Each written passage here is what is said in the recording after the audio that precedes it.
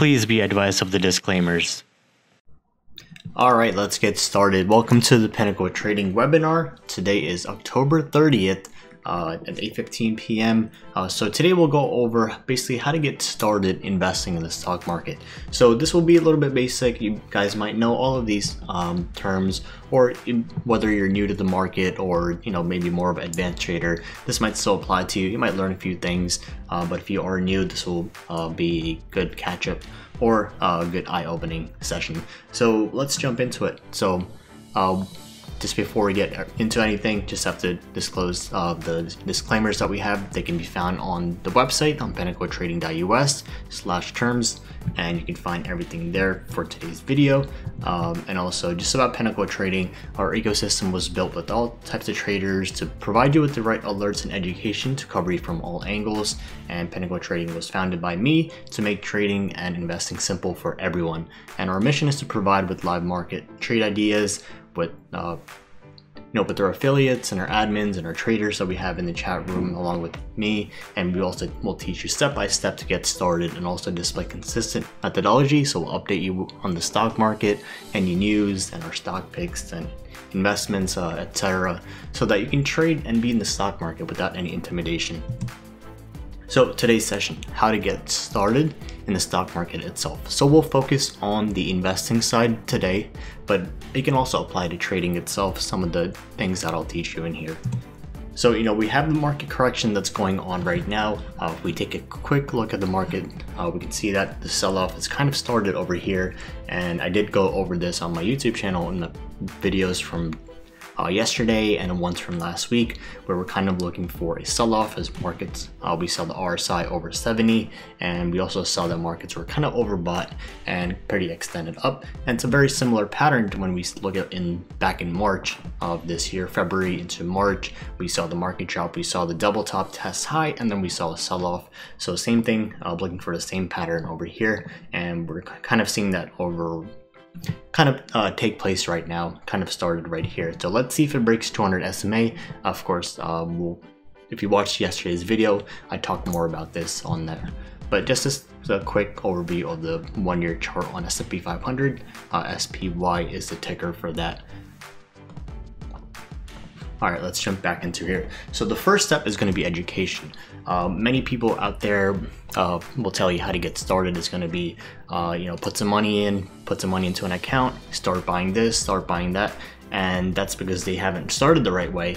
Um, you know, I've been told the same thing, but first thing is going to be education. Just like you're, if you're going into a degree, like in a um, in college or whether it's high school or whether any training or certification, you want to have the education because if you don't know what you're doing, that can lead to many big mistakes and also just a lot of confusion and putting education onto later uh, can really lead to those type of mistakes that you don't want to make especially with your money and your future and financial man management etc i'm not a broker in any way or a financial advisor but these are just my suggestions that i've learned uh, over the years of my trading and investing career. So what i suggest is going to be setting an education time. I did go over this in my last webinar, so it's going to be a little bit similar for these steps on this slide.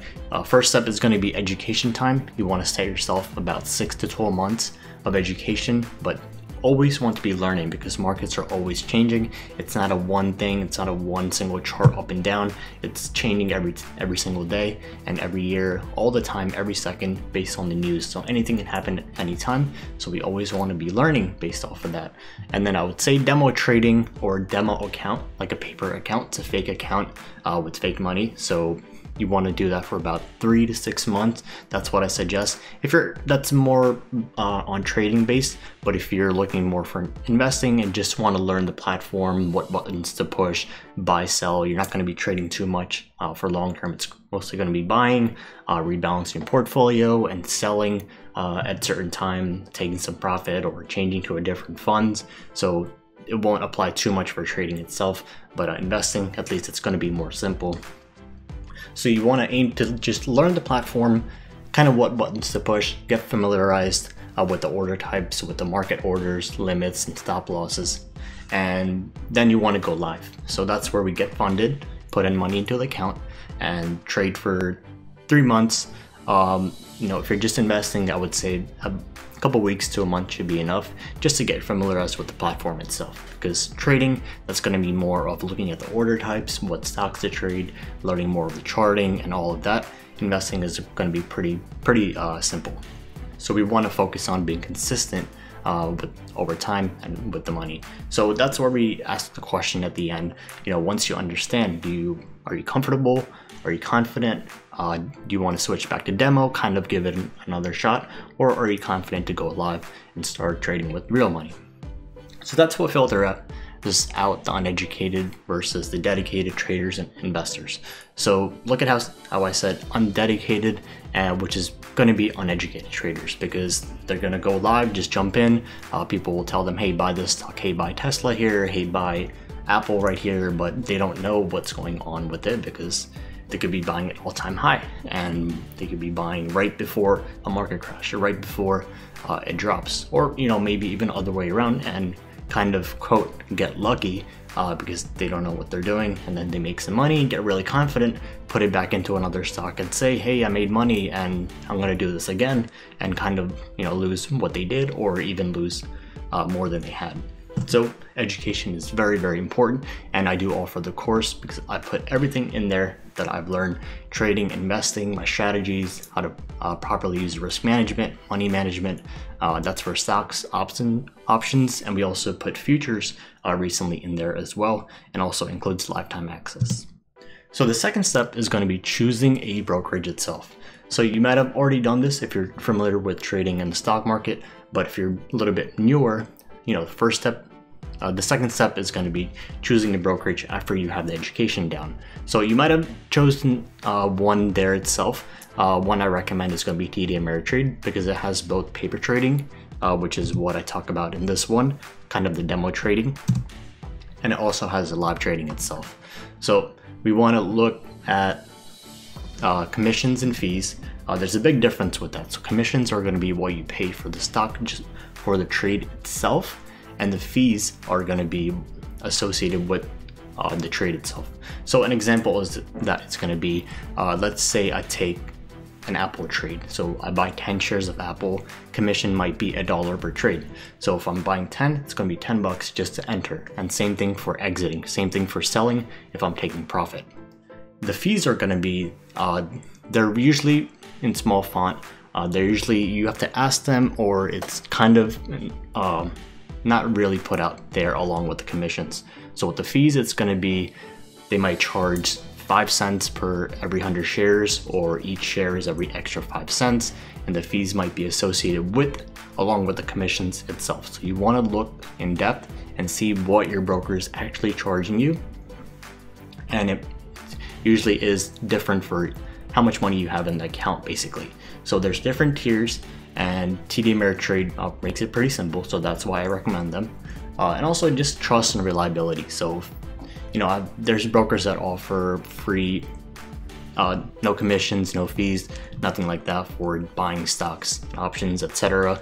But you really want to see or how long they've been around, uh, their heritage, how reliable they are. You know, there's some brokerages I'm not going to name, but they have a lot of outages, sometimes during heavy market trading hours or we see big movements in the market, a lot of volume, volatility. They go out. Basically, it means that they're not sustaining themselves and you can't trade, you can't put your orders in, and that can really cost you uh, not just your time, but also money, uh, which is very important in this case and also its simplicity. So some people might like just a simple app. Uh, TD Ameritrade has the investing app. They have the Thinkorswim, which is more advanced. Uh, that's where we have more charting, etc. They have a regular app, which is based uh, to be simple, uh, mainly for investors, because you're basically just buying and selling stocks. Uh, and then it's going to be education. So a lot of these brokers uh, they just have the trading. They also offer education. So they do live sessions like me, what I'm doing right now, to kind of educate you on market or order types or whatever it is. And not all of them uh, offer that. And then we also want to look for tools and research. Uh, they have a good uh, research tab on there. They have data analysis, and a lot of this data is free on TD Ameritrade, so that's why I recommend them. They have level two data for trading. Uh, they have time and sales for trading for free and a lot of the market news, uh, live data, a lot of those you know, a brokerages charge maybe $50, $100 a month just for that, but TD Ameritrade has all that for free, and they don't have a minimum account balance, I believe, uh, to get that data. And also, um, data options itself. So if you want more market research, uh, they do have some paid ones. So if you want, uh, just check that out with the brokerage that you're choosing. And also, uh, once we do choose a brokerage, we want to choose an account an individual one where it is taxed um, based on your tax bracket, uh, based on what you buy and sell, uh, short term, long term, etc. And you can look that up uh, based on your tax bracket and all of that on Google. And Roth IRA or traditional IRA, there's a big difference on that one. Now you can look that up online as well. And there's many other accounts. Like if you're younger than 18, you can get a custodial account. So if you want to get started, of course, sooner the better. Uh, you can also have your parents kind of approve an account for you, a custodial account. And then, so lastly, I recommend TD Ameritrade for this, but you're welcome to choose whichever one. I'll kind of read through all these uh, bullet points that I posted on this slide and kind of look through what your broker offers and then go ahead and choose it from there. So the first, know, main step, again, recapping is gonna be education, and then we wanna choose a brokerage from there. And then third step is gonna be picking investments. This is the main part. So it's best to just keep it simple when investing. Sometimes boring is better because it's long term. We're kind of just sitting on our hands, watching things grow over time, uh, letting money do the work for us rather than the other way around. So what I recommend is going to be uh, there's a lot of different types out there in the market. So there's individual stocks, Apple, Google, uh, Visa, whatever it is, uh, individual stocks itself, individual companies. And then there's ETFs, exchange traded funds. So SPHD is one of them, uh, VTI is one of them, IWM. Uh, those contain of individual stocks picked by that ETF or the, the fund manager, and they're all put into one. So that's low cost investment and it's also diversified. So you want to check, go through the list, look at each stock on there, or at least the top 10 or the top holdings, and then look at what they're in. So it can be in utilities, it can be in construction, it can be in uh, banking, it can be technology, whatever it is. So you want to kind of diversify, but also you don't want to be undiversified. So you want to be in the middle, in the sweet spot over there, and that's that comes with over time, and also you know, like, of course we talk about all of that in there, so that will help you pick out funds. And also there's mutual funds as well, and there's many other types uh, like fixed income, a lot of those, but I mainly focus on stocks and ETFs. So here's what I suggest. So if you don't know what you're doing, if you want to keep it simple, which I really recommend, I'd say few individual solid long-term stocks. So solid long-term stocks. So these are ones that are companies that you know of or you have good analysis on them, you've done your research, and you're looking at their balance sheets, you're looking at their earnings, you're looking at their reports, all of that. So just a few. So that's two to three, and then few ETFs as well. So just two to three. So combined should be no more than four to six of total. And then few ETFs that are appreciating, that means the price is continuously going up over long term uh, with solid dividend growth. So that means the dividend that they pay every month or quarter is also increasing over time. So we with ETFs, a lot of them out there can be up and down they might be paying a high dividend, vice versa. They might be paying a low dividend, but they have big appreciation. So we want to look for kind of a sweet spot, but also, you know, one or the other, whichever you're comfortable with. But what I recommend is one that's continuously growing long term, like an individual stock is, and also with solid dividend growth. So what that allows us to do is we get good growth over long term when market is good, and we also get dividends uh, when markets are bad. So kind of covers us from all angles in all types of markets. And then the three main index funds are going to be SPY, QQQ, uh, DIA. So uh, Nasdaq, Dow Jones, and S&P 500. Those are the big three. Those three themselves, if you don't know what to buy, uh, don't know which stock to buy, what ETF to buy, those three themselves will pretty much cover almost entire, almost 100% of the market. And those three are pretty much good enough you, all you have to do is just keep buying them for over long term. And if you don't know what what to put your money in, those three will be simply enough. And I made a video on that. If you don't know what you put to money in, kind of, that's pretty much a good, uh, just buy and go. So the fourth step is going to be setting a budget. So now that we have a portfolio, we have a brokerage, uh, we have the education down, which is important. We want to we want to have the portfolio created, uh, and we just simply set a budget for the account. So long-term investment, where that means we're adding money to the account. That's way that way it grows exponentially, along with the stock appreciation or ETF appreciation and the dividends that we get. So example of that is going to be adding $50 a week uh, which is pretty much same thing as $200 a month. Uh, but the smaller number kind of doesn't seem so big. Uh, so when someone says, hey, I'm gonna add uh, $200 a month, or hey, I'm gonna set a goal of $200 a month, uh, it's kind of easier to say $50 a week because smaller number, uh, just mindset wise, how human minds work is gonna be easier. It seems like less amount of money, even though it's the same because four weeks is about $200 a month kind of $50 a week if you can put that away aside every week. Uh, might be easier for some people. So you can, you can also set this recurring deposit. You can do a daily deposit, you can do a weekly, monthly, quarterly, maybe even a yearly, and that's a lot of the brokerages offer that. So if that works for you, if you want to keep it kind of automated like a robot, uh, just like a system every month so that you don't fall back on it, uh, you can have that set up and just check which one you have uh, like the ones that I said before, IRA, traditional IRA, individual account, and they have different limits and regulations for each one. So you want to check the taxes on each one uh, and just the rules on each one. And the last step is going to be waiting. So this is where we have our education, our brokerage, we have the funds in there, and we're just waiting for the money to grow, kind of the markets to play along, and just for time to go on. So this is this can be the easiest part because you're just watching and waiting and maybe you're trading on the side just just for fun or uh, just to make some side income or you're investing in other things other than the market. But this can also be some of the hardest part for some people because they check it every single day or they check it every single week. I recommend if you're investing for long term just check whenever you're adding the money. So if you're having a weekly deposit just check once then. Uh, if you're checking if you're putting money in every month, just check then, uh, and that's a good uh, way to go about it. Don't check every single day. Unless markets are really changing, uh, that's times where you want to check the least. So when markets are just going up steadily, you might want to check a little bit more often just so that you don't make any uh, hasty decisions. So investing can be boring because it's focused on long-term growth, but that's a good thing.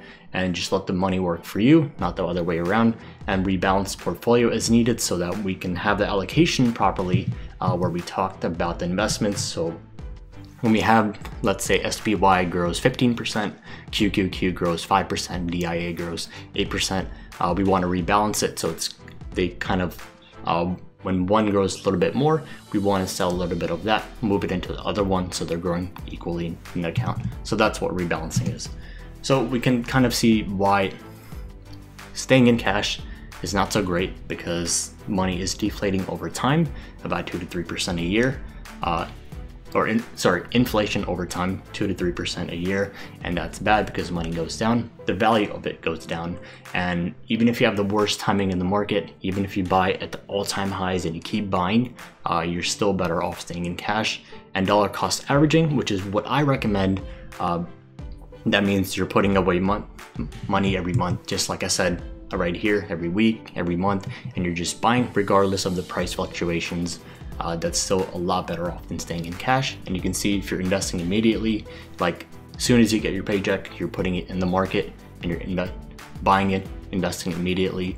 Or if you have perfect timing, which is kind of in a perfect world, where you're buying at the lowest point and you're selling at the highest point uh, and keep repeating, or you keep buying at the lowest point continuously. Uh, it's not so much different than uh, dollar cost averaging.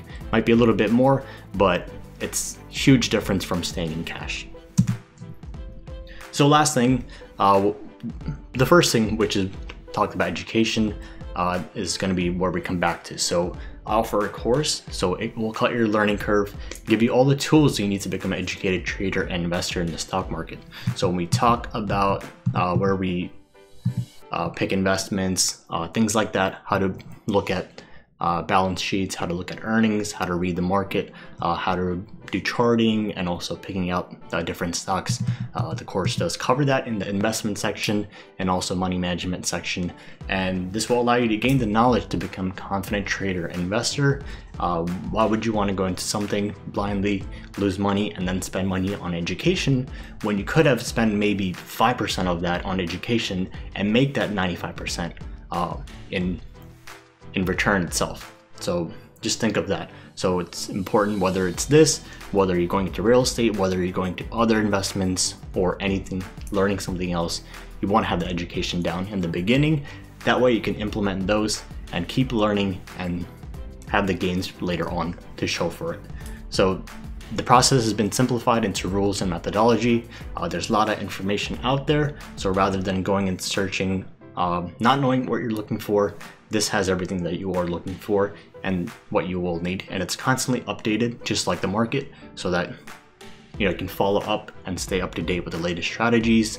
Uh, if i do find something new i'll put the put it in the course. Uh, if i you know learn a new system uh, new methods whatever it is it's constantly updated and i'm also doing these sessions free for everyone so you don't have to have the course but we do have um, live webinar sessions that i do with the course members themselves uh, just because they uh, talk about some of the material from the course itself. So that, that's why we do some of them uh, just for the course members. And this is what the course offers. So stock market education. Notice how I have that tab first because education is important and I want to put emphasis on that. So completely understand the market itself, how it works, and then we jump into trading and investing and then some of my secrets to you that I've learned over the years and some of the methodology that I use every single day. So everything I learned uh, whatever I'm using, I'll share in the course. So this is a chat room layout. Um, of course, you're all in the chat room right now, so you can kind of glance through this. But if you're watching it on YouTube and you're not part of the chat room, a link will be in the description to join, or you can join on the website. Uh, this is set up with the trading prep. Uh, notice how I said education is important, so we want to prepare ourselves. We'll have a daily watch list, charts and analysis, I'll do a weekly or a monthly uh, update on video or kind of a recap with the chart on markets, what's going on. And then we go into trade ideas and then we have the VIP access, uh, separate section for them.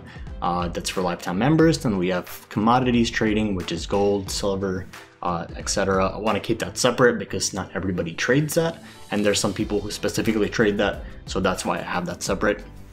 And then just feedback. I like to see what people are thinking uh, about the chat room or the trades. So if you have any suggestions, and also kind of share your goals and dreams uh, for long term, and the voice channel, which is what you're in now. So thanks for attending. Uh, I'll hand it over to Paul. Uh, I know he has some things to say right now, so I'll transfer that over to him. But again, this session will be recorded and uh, posted on YouTube if you did miss it, so you can go back to the slides and kind of read through the bullet points. Um, just give a second for Paul to take over and he will share his screen and I'll provide his input. And if you guys do have any questions while we're waiting for Paul to get set up, uh, you can go ahead and unmute your mic and ask me on there, or you can type it in the voice chat room itself.